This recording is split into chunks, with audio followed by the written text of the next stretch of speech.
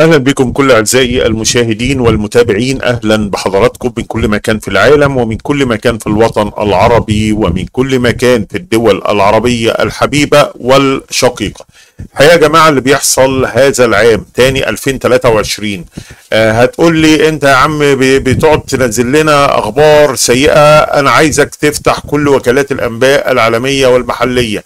لا وقول لي أي خبر انت شايفه كويس. إذا كان من حروب الحروب اللي ممكن تنطلق بعد ساعات في أفريقيا وتبقى كارثة على كل الدول أفريقيا وشمال أفريقيا خاصة الحروب اللي عمالة تزيد في اتجاه آه، بولندا وبيلاروسيا آه، وليتوانيا وحوالين أوكرانيا. الحروب اللي ممكن تندلع في لحظة آه، في آه، آه، آه، كوريا الشمالية يعني آه، العالم كله يا جماعة في كوارث حاليا. وغير الزلازل ابتدت آه، تاني تنشط وامبارح كان في زلزال في تركيا والنهاردة زلزال في تركيا وأول امبارح زلزال في تركيا وابتدوا ينقلوا المصانع من تركيا إلى الأناضول من إسطنبول إلى الأناضول ومن مرمرة إلى الأناضول علشان كلام جدي المرة دي عن زلزال إسطنبول. غير درجات الحرارة الغريبة اللي آه، درجات حرارة عالية جدا جدا ثم رياح ثم أمطار كما يحدث الآن إذا كان في الجزائر في بعض الأماكن أو في المغرب أو في السعودية أو في الكويت أو الأعاصير اللي جت في آه، آه، الإمارات. فيا جماعة في في شيء غريب في الأرض. وقلت لك أنا آه، قناعتي الشخصية إن هذا غضب من الله سبحانه وتعالى. هذا ما قبل الطوفان. آه، السماء والله سبحانه وتعالى انذر البشرية ج- جميعا من قبل عدة انذارات وبعدها جاء الطوفان اللي خد البشرية بالكامل. فإحنا مش بعيد عن كده. إحنا جالنا انذارات كتيرة. جالنا انذار من ساعة كورونا والعالم اللي قفل والمساجد والكنائس والمعابد وكل شيء قفل والمطارات قفلت والدنيا والناس بقت تموت قدامنا في الشوارع. وبعد كده آه، ما اتعظناش وابتدت الحروب وابتدت غلاء الأسعار وابتدت المعيشة نفسها بقت صعبة جدا وابتدى الفيروسات تاني و... فاحنا داخلين على انذارات ومحدش دريان. تعالوا نشوف معانا دلوقتي بيحدث إعصار مدمر. لم يحدث إلا مرة واحدة في العمر. يعني ما فيش بني آدم هيشوفه مرتين ابدا. الإعصار ده تخيل لما يبقى قدامك ما يردوش يطلقوا الإنذارات. تخيل من الإعصار المدمر علشان لو جريت هتروح للنار. يبقى قدامك حرائق ونار وخلفك الإعصار المدمر. وهذا ما يحدث في أمريكا وعدة دول الآن. يلا بينا نشوف التفاصيل. طبعا قبل ما نبدأ يا جماعة أرجوكم موضوع الدعم القناة مهم لأن إحنا بنتعب وشيء وديكوا شايفين كل لحظة فيديوهات للأحداث المهمة في العالم. فيا ريت تعملوا لايك مهم جدا تنشروا الفيديو أو تشاركوه مع أصدقائكم علشان صوتنا يصل إلى الجميع. وكمان يا ريت الاشتراك في القناة لو عايز يوصلك كل جديد في كل ساعة وكل لحظة. هنقول مع بعض اللهم نستودعك الأرض ومن عليها ونتفرج ونشوف إيه اللي بيحصل في العالم مع بعض.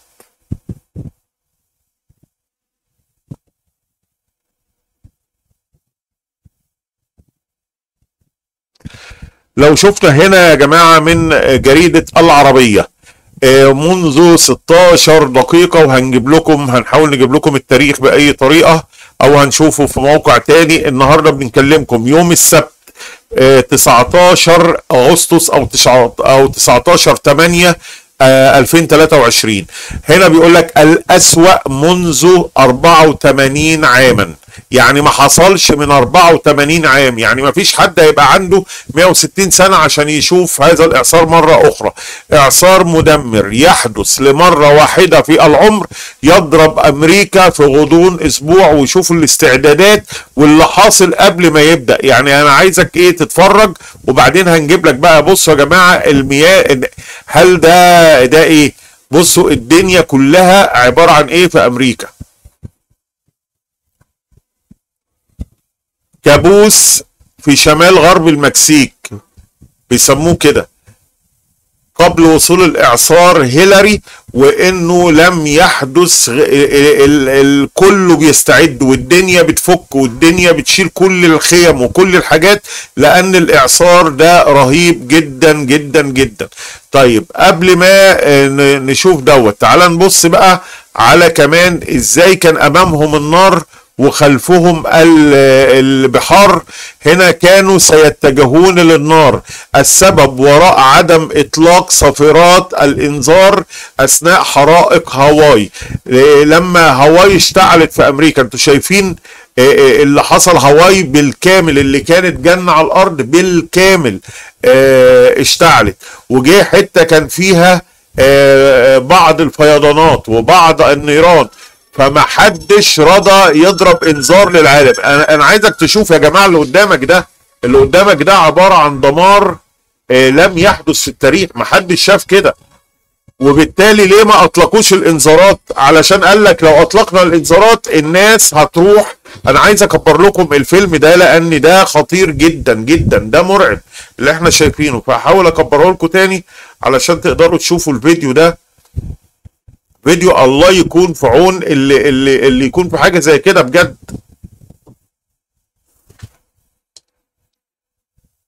شوفوا بس حجم النيران شكلها إيه والناس بتجري منها آآ آآ إزاي يا جماعة؟ بصوا بصوا المناظر بصوا المناظر بصوا المناظر. هل هل في كده؟ المناظر والدمار. وبعد كده لو أطلقوا صفارات الإنذار قال لك ما أقدرش علشان لو أطلقت صفارات الإنذار الناس هتجري على النار من الناحية الثانية فبالتالي هيحصل دمار. كل السيارات ده منظر بص السيارات عاملة إزاي؟ السيارات كلها اتدمرت البيوت كلها اتدمرت ولا أكنك خارج من حرب نووية وده ما يحدث في هاواي وفي أمريكا آه الآن. طيب برضو نجيب بقى الأخبار اللي اللي تتقري علشان نبقى فاهمين إيه اللي بيحصل دلوقتي. عندنا هنا من صدى البلد. المكسيك تطلق تحذيرات من فيضانات كارثية. اسمع الكلام وخد فيضانات كارثية مع اقتراب إعصار هيلاري. ونقرأ وبعدين برضو السبت أدي التاريخ أهو. السبت 19 أغسطس 2023 وأدي شكل الإعصار وهو بيتكون من الأقمار الصناعية. وهنا تستعد المكسيك لوصول إعصار قوي من ناحية المحيط الهادي. ما دفع بالسلطات لإصدار تحذير من فيضانات كارثية محتملة في منطقة سياحية بشمال غرب البلاد وولاية كاليفورنيا الأمريكية المجاورة. يعني اللي حد في أمريكا في كاليفورنيا في المكسيك في هاواي في كل الولايات دي يبلغهم لأن دي كارثة كبيرة. من المتوقع أن يدخل إعصار هيلاري منطقة باجا بكاليف... بكاليفورنيا. مساء يوم السبت النهارده كاعصار قوي. قبل أن يصل إلى جنوب ولاية كاليفورنيا في شكل عاصفة استوائية وسط تحذيرات من فيضانات قاتلة. وحذر المركز الأمريكي الوطني الأعاصير من فيضانات كارثية ومهددة للحياة من خلال العاصفة حتى يوم الاثنين يعني سبت حد اثنين. في أحداث توقعات صباح اليوم وطلب من السكان توقع هطول أمطار غزيرة قبل مركز العاصفة بحسب صحيفة الجارديان البريطانية. وهنا لو شفنا الفيديو بداية الأمطار اللي أهو يوم 19 التاريخ تحت الفيديو يا جماعة. الأمطار بدأت بالفعل دلوقتي. يعني ده جاي لايف خلي بالكم. الأمطار بدأت بالفعل دلوقتي والبحر ابتدى أمواجه ترتفع وتهيج. فخلي بالكم لأن في كارثة كده هتحدث في كاليفورنيا والمكسيك و هاواي.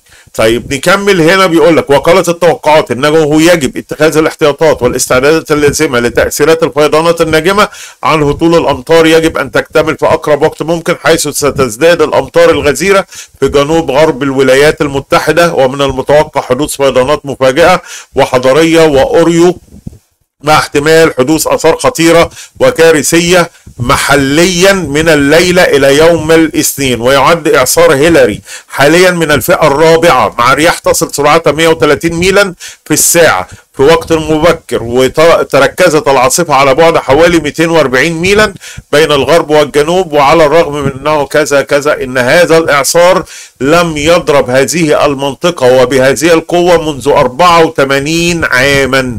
يعني لا محدش هيشوفه غير مرة واحدة. في العمر. وكمان الناس اللي في لوس أنجلوس توقع هطول أمطار ونيفادا وأريزونا. هتضرب هذه المناطق. فبرضو اللي ليه في أريزونا ولوس أنجلوس ونيفادا يا ريت يبلغهم عموما في معظم الولايات المتحدة ممكن تعم هذه الفيضانات والأمطار.